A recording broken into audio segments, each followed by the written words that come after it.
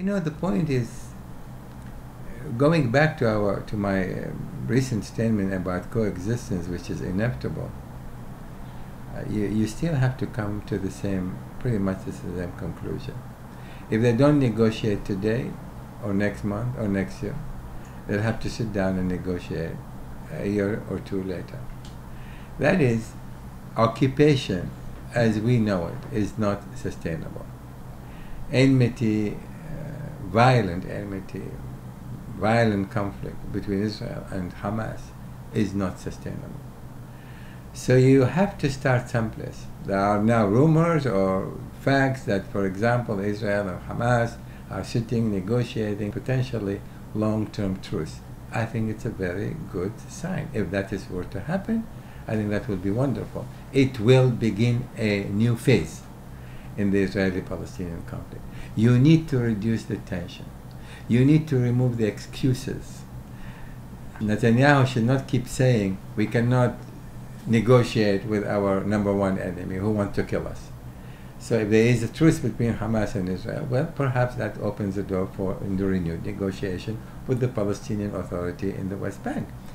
Uh, so, so certain things, certain steps, when taken, whether inadvertent or deliberate, that could facilitate the process, ought to be taken. And hence, we have to think in those terms nowadays, both Israelis who want peace desperately, the Palestinians who want, who really want peace, the, the, the international community, the, the, the EU, the United States, ought to, ought to be much more creative because everyone will be affected by the, by the continuation of the conflict.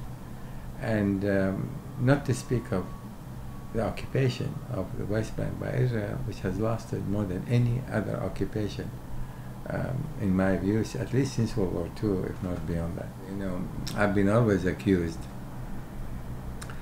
of being optimistic uh, about the Israeli-Palestinian um, peace process and how to end the conflict between the two sides.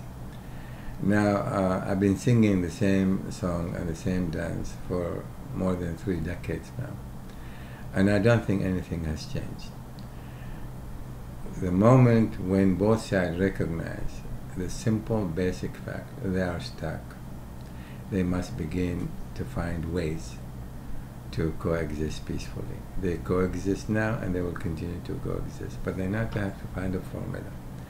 So what we are talking about here, since the, since the both Israelis and the Palestinians were unable, after so many years and decades, to reach an agreement, at least since the Oslo Accord of 1993, if they were unable still to reach an agreement even 20 years later, you have to ask yourself the simple question, what is going to take? And in my view, international intervention at this point is critical. That is, Israelis and the Palestinians must understand that the, their conflict is not limited to the Israelis and the Palestinians. It has major, significant regional, and perhaps even global implications.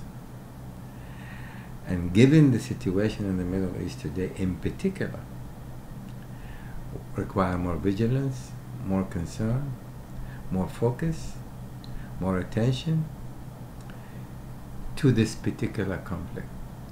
The United States, the European community, the Arab state ought to really look at the situation anew and come up with something if they don't want to see this exploding again in a manner that is going to make it extraordinary, if not impossible, to reverse.